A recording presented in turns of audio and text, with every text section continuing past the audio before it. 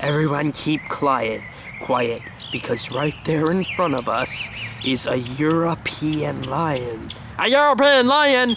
Shh! Alright, and Blabbermouth, here is what a European lion is. The European lion was just like an African lion, though it had one major difference, which was its much wider coat, which we can see here, and the fact that it had no mane whatsoever. Now, more, now, I bet you're wondering, how, what's this lion doing in America?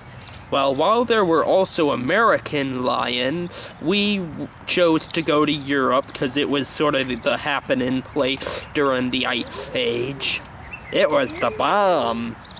So, how did the lion get to Europe anyway? Well, there weren't just lions in Europe during the Ice Age.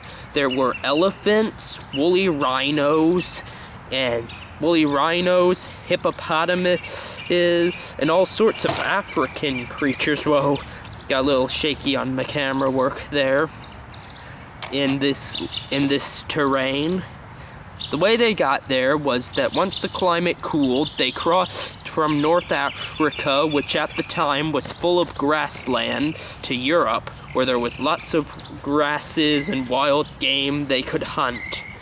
But around but around the end of the Ice Age, 100,000 years ago, desert formed in North Africa, separating the more grassier South Africa from the north. And the animals had by this time migrated back south to Africa.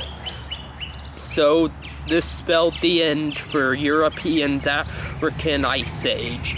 But there was also, but some speculate the European lion survived, as we have accounts from Greece that tell of lions during the time of the Greeks. Though by about the year 1000 AD, the lions were all but eliminated from Europe. Achoo! Uh oh, I think it's hungry. We better run.